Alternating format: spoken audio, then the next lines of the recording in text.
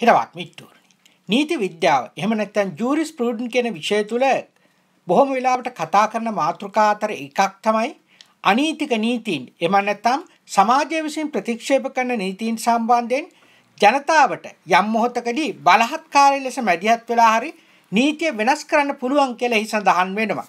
ඒ කියන්නේ මිනිසුන් විසින් කරනු ලබන අරගල තුල එවැනි අසාධාරණ නීති වෙනස් කිරීමේ හැකියාවක් ඇති බව නීති විද්‍යාව පිළිගන්නවා. ඒ වගේම මිත්‍රෝනි සමස්තයක් විදියට ගත්තාම අපි ලෝකයේ දැකපු ප්‍රධාන කාරණයක් තමයි පවතින සමාජ යථාර්ථයට එරෙහිව සමහර ඒකාධිපත්‍යෝ ගේන නීතිවලට එරෙහිව යම් මොහොතකදී මිනිස්සු නැගී සිටිනවා. ඒ ප්‍රතිඵලයක් විදියට සමහර වෙලාවට ඒකාධිපතියෝ සම්පූර්ණයෙන්ම විනාශ වෙනවා. මේ ප්‍රවණතාවය අපි පහුගිය කාලේ දැක්කා. මේක මේ වෙනකොට ලංකාව තුලත් විද්‍යාමාන වෙමින් පවතිනවා. විශේෂයෙන්ම භාෂණයේ අයිතිය කියන එක අපේ රටේ ආණ්ඩුක්‍රම ව්‍යවස්ථාවෙන් පිළිගත්තු දෙයක්. අද වෙනකොට මේ භාෂණයේ අයිතිය අහිමි වෙලා තියෙන පුද්ගලයෙක් තමයි රංජන් රාමනායක. රංජන් රාමනායක හේතු සහිතව පහුගිය කාලේ ශ්‍රේෂ්ඨාධිකරණය සහ විනිසුරන් සහ නීතිඥයන් විවේචනය කරා. මේක රංජන් රාමනායක පළමු වතාවට කරපු දෙයක් නෙමෙයි. මීට පෙර බොහොම පැහැදිලිව චන්දිකා බණ්ඩාරනායක කුමාරතුංග ලංකාවේ දූෂිතම ආයතන අතර එකක් හැටියට අධිකරණය ඔහු ඇය පෙන්වලා දුන්නා. ඒ වගේම රංජන් රාමනායක මේ පෙන්නපු කාරණේ ඇත්තයි කියන්න ඕනෑම තරම් සාක්ෂි මේ රටේ තියෙනවා. හැබැයි කෙසේ වෙතත් මේ වෙනකොට රංජන් රාමනායකට බොහොම අසාධාරණ තීන්දුවක් ලැබිලා තිබෙනවා.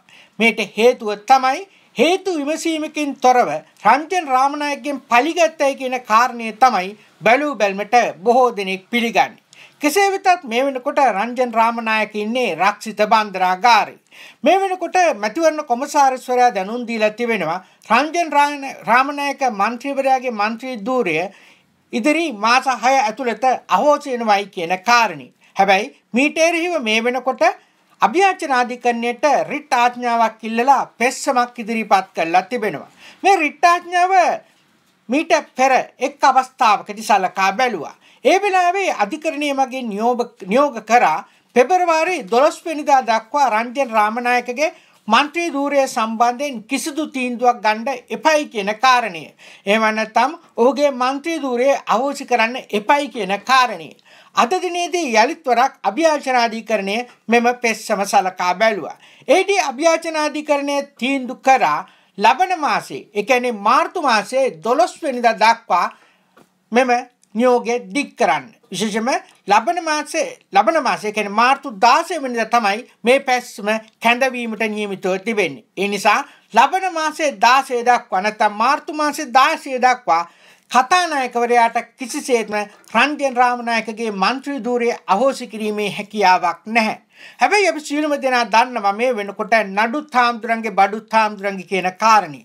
විශේෂයෙන්ම විශ්වවෙනි ආණ්ඩුක්‍රම ව්‍යවස්ථා සංශෝධනයේ සම්මත වීමත් සමගම මේ රටේ සියලුම අධිකරණ විධායකේ ප්‍රාණපකාරය බවට පත් වෙලා තිබෙනවා.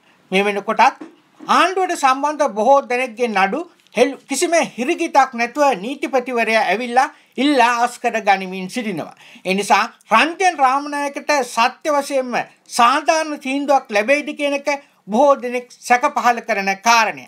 කෙසේ වෙතත් රංජන් රාමනායකට අසාධාරණ විදිහට මේ දීලා තියෙන තීන්දුව සම්බන්ධයෙන් ජාත්‍යන්තර වශයෙන් ලංකාව අපකීර්තියට පත් වෙමින් තිබෙනවා. කෙසේ වෙතත් රංජන් රාමනායකට සම්බන්ධ ආරංචි මාර්ග සඳහන් කරන්නේ රංජන් රාමනායක කිසි හේතුවක් උඩ කාගෙන්වත් සමාව ගැනීමේ සූදානමක් නැහැයි කියන කාරණය. මිත්‍රෝරණි දවසින් දවස අපේ රට බල්ලට යනවා. බල්ලෝ පාලනයට එනවා. මේක වෙනස් කරන්න පුළුවන් ඔබටත් මටත්. මොකද විධායක ව්‍යවස්ථාදායක අධිකරණ බලය තියෙන අපිට. ඒ නිසා මේ කාලකන්ණි ක්‍රමය වෙනස් කරන්න පුළුවන්. පුද්ගල වෙනසක් නෙමෙයි ප්‍රතිපත්තිමය වෙනසක් කළ හැකි සමාජ දේශපාලන කණ්ඩායමක් සමග අපි පෙරට යමු. මිත්‍රෝනි අර්ගන්තු ජයග්‍රහණය නොමැති බව ඔබට සිහිපත් කරමින් මා ඔබෙන් සමුගන්නවා. ඔබ සැමට ජය